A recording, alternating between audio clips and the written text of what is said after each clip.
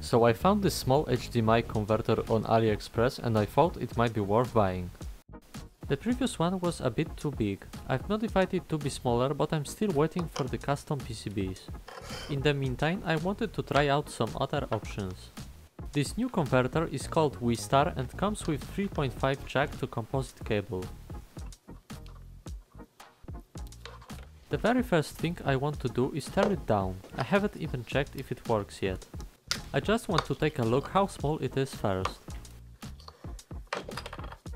Right off the bat you can see how compact it is. The board even as is would be perfect for my glasses. Of course I want to go even smaller. The seller lasered off the label from the IC but it's the exact same one as in previous one. You can also spot some PCB design similarities as well. The main difference in this module is that it has 3.5 jacks soldered right into it. Here are both boards next to each other for size comparison. Both PCBs are untrimmed. The size difference really shows how much of unnecessary stuff there was on the first board.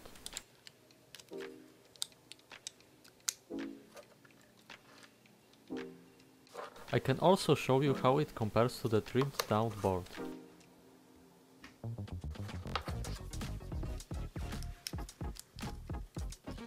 The new converter is still way smaller.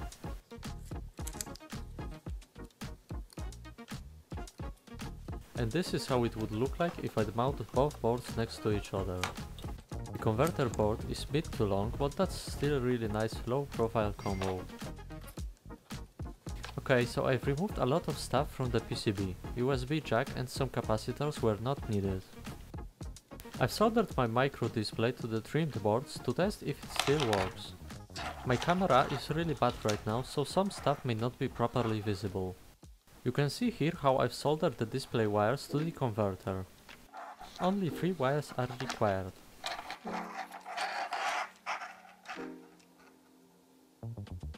I've connected both boards to my laptop so you can see that it really works. Right now it's displaying the blue Windows wallpaper but it's not really visible. I've put on a spawn wave video so that you can better see the image. It's still really small but you can see that it works. There's also like zero latency, so that's awesome.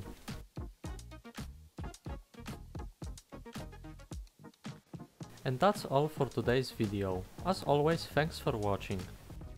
This video was made possible by all of my Patreons. Many thanks for your continuous support.